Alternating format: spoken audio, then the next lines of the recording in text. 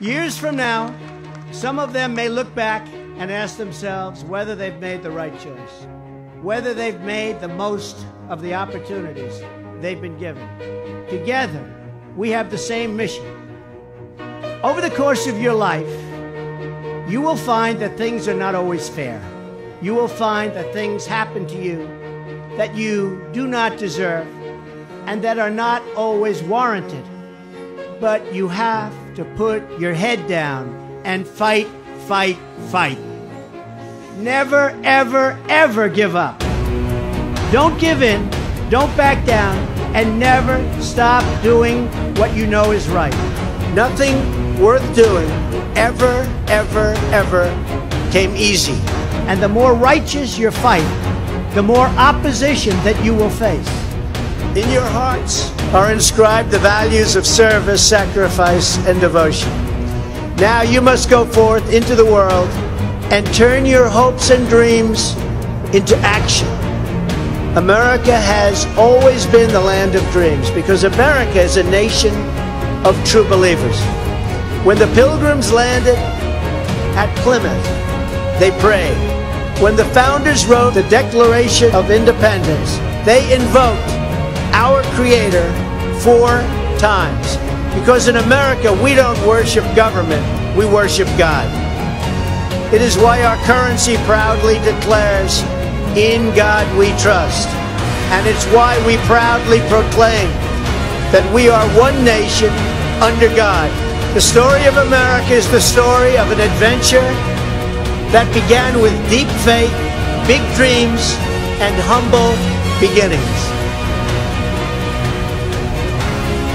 The next generation of American leaders never, ever give up. There'll be times in your life you'll want to quit. Never quit. Never stop fighting for what you believe in and for the people who care about you. Carry yourself with dignity and pride. Demand the best from yourself.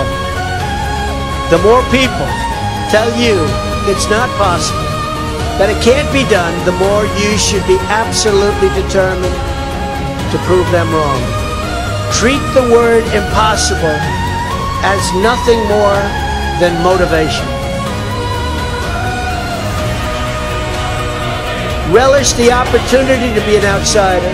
The more that a broken system tells you that you're wrong, the more certain you should be that you must keep pushing ahead. You must keep pushing forward. And always have the courage to be yourself. America is better when people put their faith into action. Pray to God and follow His teachings. Today, each of you begins a new chapter as well. When your story goes from here, it will be defined by your vision, your perseverance, and your grit. You will build a future where we have the courage to chase our dreams no matter what the cynics and the doubters have to say. You will have the confidence to speak the hopes in your hearts and to express the love that stirs your souls. As long as you have pride in your beliefs, courage in your convictions, and faith in God, then you will not fail. As long as America remains true to its values, loyal to its citizens, and devoted to its Creator, then our best days are yet to come.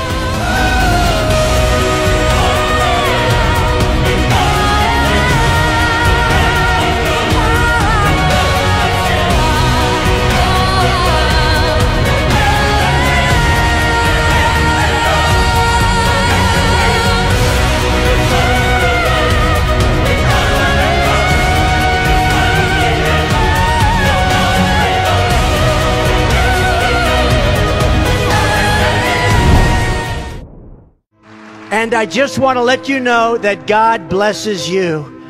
And I want to just say, you are special in every way. God bless you and God bless America. Thank, Thank you you. very much. Thank you.